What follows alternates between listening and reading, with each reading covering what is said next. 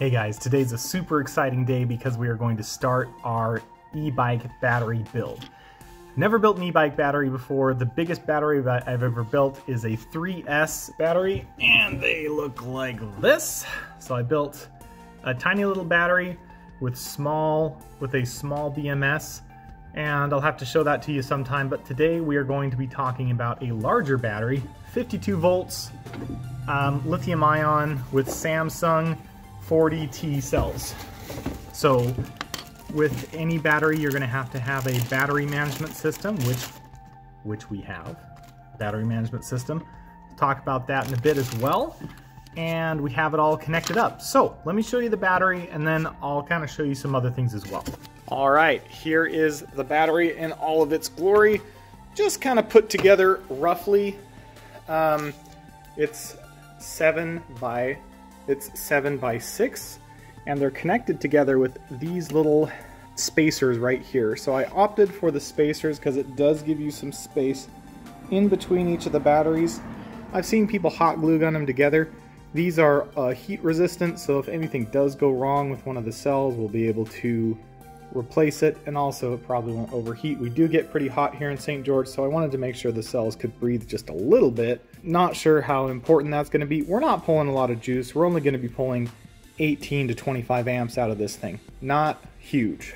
And then it's going to look something like this. So I've got positive, negative, positive, negative, positive, negative, positive. We are using, we're going to do three parallel. So we're going to have three of these um, these are Samsung 21700 cells, the 40T, so they're 4000 milliamp hour. So we're going to have three right here, and then we're going to connect positive to negative, and then move along. So you can see I've actually written down here the voltages. So they're 3.6 volts on, at the beginning I was doing 3.7 volts, uh, just out of habit for lithium polymer battery. I did switch to 3.6 volts, so you'll see that, so apologize for that. But we're going from zero volts on here. So you'll see these three cells right here will be connected together and they will be zero volts. And we're just gonna go from zero to 3.6 to 3.6 to 7.2 and on to 10 to 14. So these two cells right here, the positive and negative, both of those are going to be 14.4 volts. Then we'll come to um, from 10 to 14 to 14 to 18 to 18 to 21 and so on. And then here is a little confusing. So we're gonna go, uh, hey Bree, we're gonna go start from zero and then we're gonna go to 7.2, 14.4, one sec, 21.6. Then once we hit here, we have to do something a little bit different.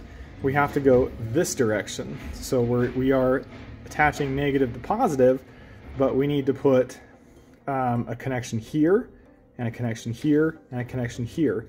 And instead of putting a single strip across the top, what I'm going to do, since we're going to be flowing more current through it, I'm going to be using, you know, this stuff, the nickel um, stuff, and I'm going to be collect connecting these two together, and then I'm going to connect these four together, and then I'm going to connect these six together, so we have plenty of amperage that can flow uh, this direction because when we're flowing this direction, we're going to have a single connection for each battery. We're going to have a single connection for all three batteries. So I'm going to triple up the amount of um, the amount of nickel we have. Then once we do that, then you can see we have the uh, the connection. So we have 25.2, 25.2 all on the bottom here, and then we're going to go up to 28.8. And then we're going to rotate back this way, and then we're going to just do the other side. Same thing, 28 to 28 to 32 to 36 all the way to 50.4 volts. And that's going to be the battery. And I have right here a uh, the connection we're going to be using. So this is a mini spot welder. It's a Maplewise mini spot welder. So I purchased this exact one. The one with the maple, the equals on both sides, and the wise maple. There are a few different versions of it. This is the one I got. We are going to use a car battery. Since I don't have a spare car battery that's beefy enough, I am going to be using my truck battery. So it's going to be great. I'm going to connect it up to my... I'm just going to take my battery out of the truck, I think. So then it's ready to go. And then we'll be able to go from there. So here's what here's the battery we're using. Got a case on it. Got to take all this stuff off. Okay. Anyway, that's what it looks like. We're going to connect it via an XT90 connection. This is the XT90 is completely overkill. This is what connects to the battery itself. We have a couple of connections here and we have a fairly large connection, so just so we don't have any internal resistance to an XT90, XT90 to spot welder, spot welder to make spot welds. All right, we got the battery pulled out and hooked up. Such a cool battery. Has these little flared pieces on the bottom, just holds it on the bottom. It's really cool. All right, 12 volt, got it all connected up. Positive, positive, negative, negative. We have this thing running. We are at 30Q. Um, and we're it's green. It's running at 12.7 volts right now. Looking good. We're going to do some test spot welds and see how it goes. This may be heavily edited because, you know, I don't know how well you're to see this. But I don't really have a holder for my camera, and that is what it is. There we go. We got it. Gonna do it again here. Two of them. That's not going through, so it's not too much, but it's just enough to weld these together. It's perfect. Love it. So that's how we're going to spot weld everything together. So enjoy this montage.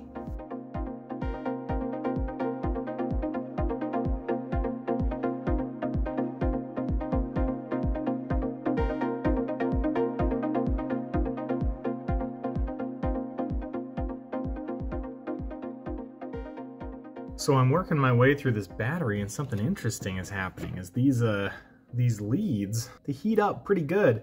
So I can't go too fast. I have to uh, kind of pace myself. So I have it on auto so I don't have to press any buttons, but as soon as it senses a connection, it'll do this. And it sends it over. So touched. So I'm doing two welds on each one. So each cell gets two of these. This is the first one, second one. So this is not the most flattering freeze frame of myself, but this is an important part of the build.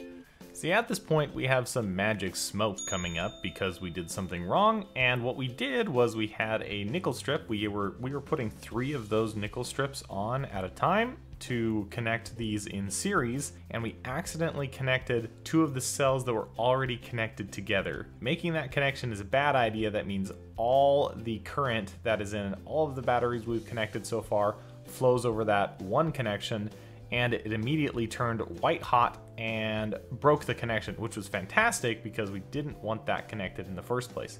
So the nickel strip stuck to my finger and I slid it over as I was preparing to spot weld the next section.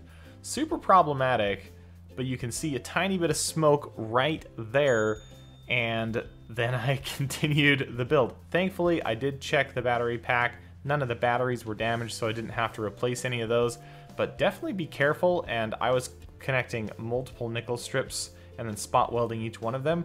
In the future, I would just connect a single nickel strip, or use some of those pre-connected nickel strips that are pretty sweet. All right, that's it for today. We got the 48 volt or the 52 volt battery pack all connected up. It's showing 48 volts because it's a little low on voltage at the moment. It's like at 20 to 30% capacity at the moment. We do need to do the BMS. That's going to have to be for another day. We did have one little mishap. I had a strip of uh, a strip of this, and it was a small little strip like this, and it stuck to my finger, and I slid it over, and it connected the wrong positive and negative terminals that were already connected up, and it made a connection, and there was fire and sparks, and it burned itself off extremely quickly, and that's good because it saved my cells. Um, I did get burned a little bit, unfortunately. That was the only mishap.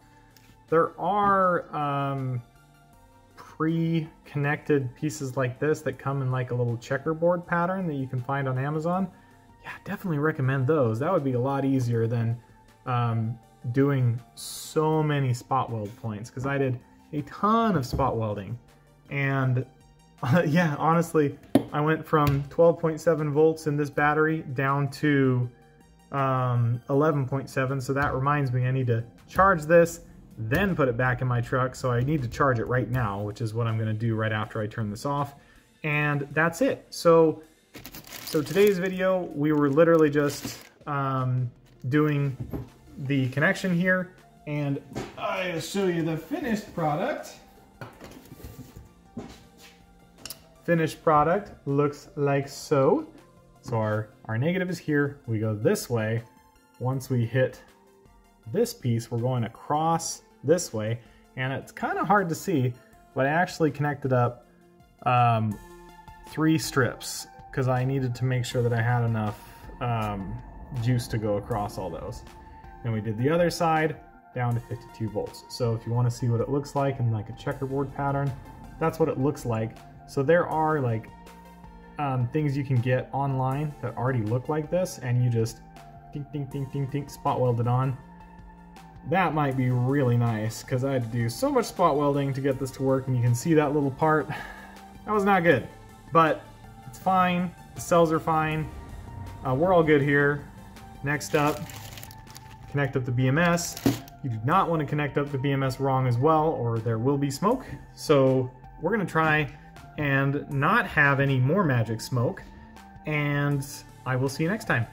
Thanks for watching.